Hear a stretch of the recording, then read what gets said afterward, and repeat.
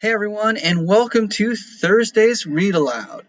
This read aloud is going to go through the election of 1860 reading. Um, it'll help explain some of the maps in it, and and that's about it. Let's go ahead and get that open and get looking at it.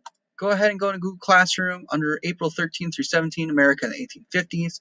Go down to April 16, the election of 1860. And go ahead and click on that document and open it up.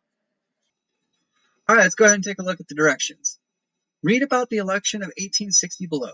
While you read, mark the text according to the guiding question. Underline main ideas and circle key terms that directly relate to or answer the guiding question. All right, so today, so today, our guiding question, what was the historical importance of the election of 1860? Okay, the election, the election of 1860 is considered one of the most important elections to happen in all of American history. Okay, it is the election that Abraham Lincoln ends up winning, and our goal today is to discover why is it so important? Why do we think it's so important? How did it impact our history? Okay, that is what you're looking for as we read. All right, let's not waste any time. Let's dive right in. The election of 1860. In the presidential election of 1860, the big question was whether the Union would continue to exist.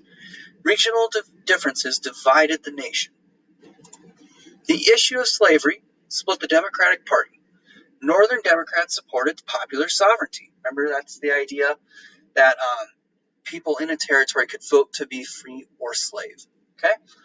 Northern Democrats supported popular sovereignty. They nominated Stephen Douglas. You guys should remember him from the Lincoln Douglas debates.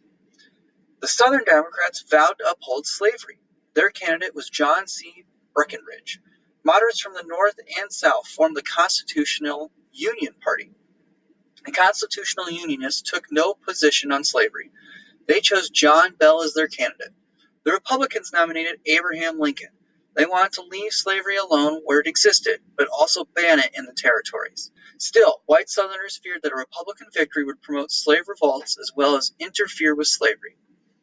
With Democrats divided, Lincoln won a clear majority of electoral votes. Voting followed sectional lines. Lincoln's name did not even appear on the ballot in most southern states, so a lot of Southerners didn't even have the option to vote for Abraham Lincoln. He won every northern state, however. So, in effect, the more populous North outvoted the South. All right, that's a lot of information. Let's use the map to help us digest all of that. Okay? So, if we look here, red represents states that voted for Abraham Lincoln. Um, this darker, yes, darker blue stands for John C. Breckinridge. And actually, I'm going to make this even bigger. There we go. That yellowish stands for John Bell. And the light blue stands for Stephen Douglas. Okay? So it's essentially the Republicans versus the Democrats, but the Democrats divide into three. Okay, you have the Southern Democrats supporting John Breckinridge, and that you can see that in the map down here. All these Southern states are voting for him. Okay, there's kind of a middle ground, okay, a middle Southern, okay, middle Democrats, people from the North and from the South, they're like, let's just leave this alone. We don't have any position on slavery. We don't want to really deal with it. Uh, we think there's other things going on. Okay, they support John Bell. And those are those states in the middle of everything here. They're kind of like, this is getting a little tense. Let's not let's not start a fight.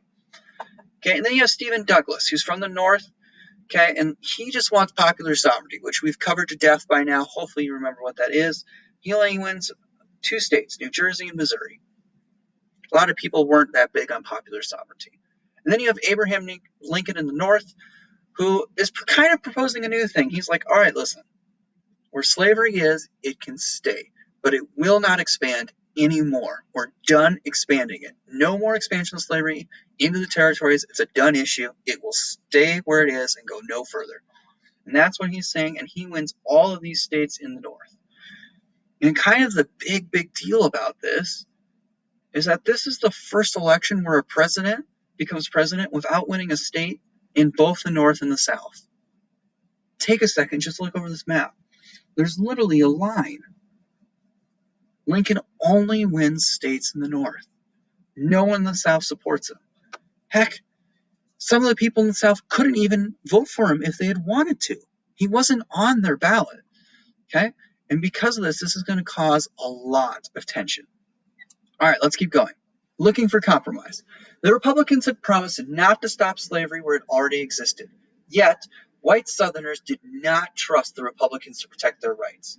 On December 20, 1860, okay, so this is after the election has happened and Abraham Lincoln has won, South Carolina voted to secede from the Union, otherwise known as leaving it. In other southern states, leaders debated the question of secession or withdrawal from the Union.